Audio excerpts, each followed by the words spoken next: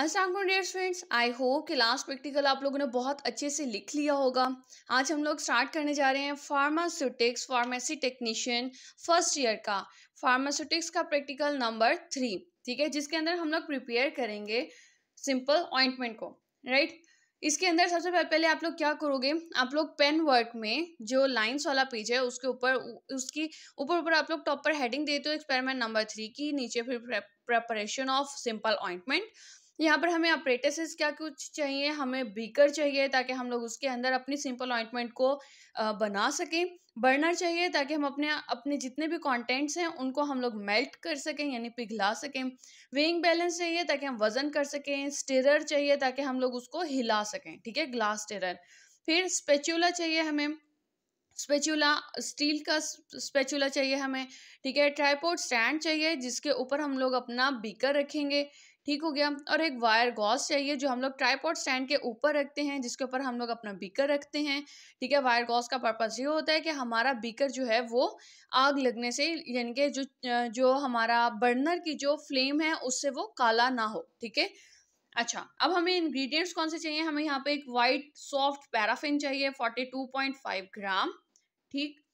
Hard paraffin चाहिए two point five gram cetostearyl alcohol चाहिए two point five gram और wool fat चाहिए two point five gram right इसके बाद हमारे पास प्रोसीजर हम लोग देख लेते हैं। सबसे पहले हम लोग क्या करेंगे? Weighed all the ingredients individually हम लोग वज़न कर लेंगे तमाम तर अज्जा को इंडिविजुअली अलग अलग and carefully according to the specification और बहुत ध्यान के साथ स्पेसिफिकेशन के मुताबिक।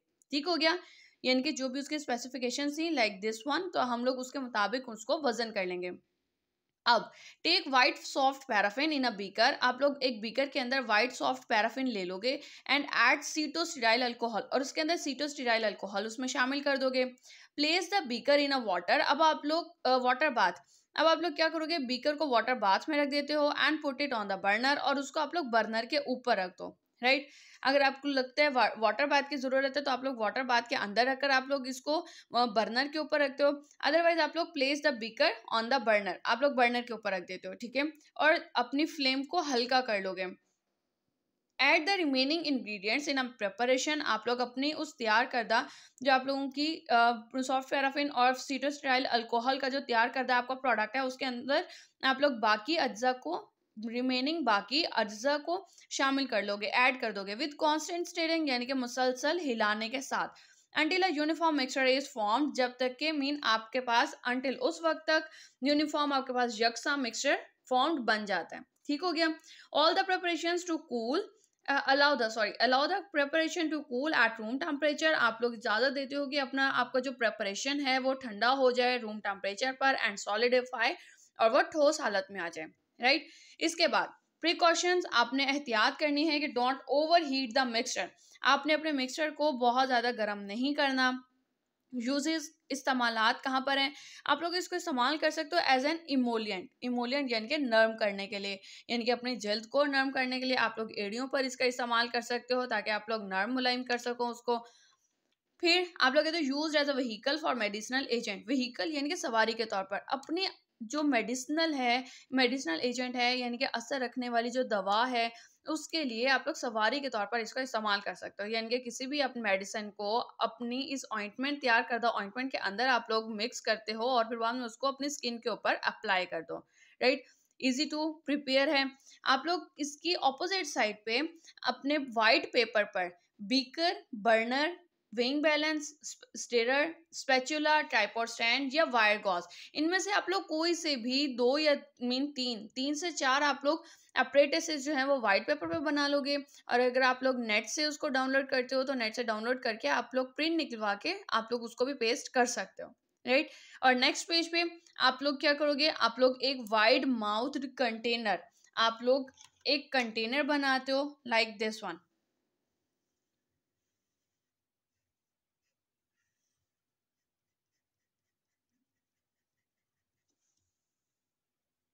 इस तरह का आप लोग एक वाइड माउथ कंटेनर आप लोग एक आ, आ, मतलब बड़े मुँह वाला जिनके बड़ी जिसकी कैप होती है ऐसा आप कंटेनर बना लोगे ठीक है? जिसके यहाँ पर आप लोग मेंशन कर दोगे that it is simple ointment ठीक हो गया? आप लोग इसको परफेक्शन के साथ बनाओगे राइट और या फिर इसके साथ आप लोग एक कोलैप्सिबल ट्यूब बना दोगे ठीक हो गया? कोलैप्सिबल ट्यूब जैसे हमारे पास पोलीफेक्स की ट्यूब होती है आप लोगों ने पोलीफेक्स की, जैसे आपने देखी होगी पोलीफेक्स की ट्यूब होती है, बिल्कुल उस तरह से आप लोगों ने यहाँ पर ये ट्यूब बना देनी है। इसके साथ आप लोग मेंशन कर दोगे that it is collapsible tube ठीक हो गया? Collapsible tube collapsible tube right और इसके साथ आप लोग लिख देते हो wide mouth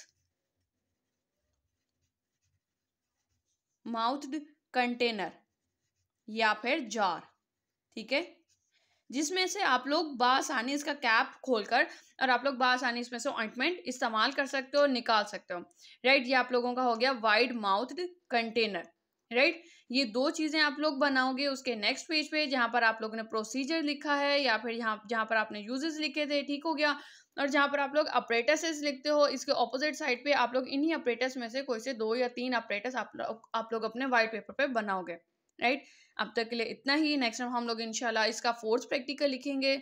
I hope so कि आप लोगों को सही से समझ आ गया होगा और आप लोग इसको अच्छी तरह से लिख लेंगे।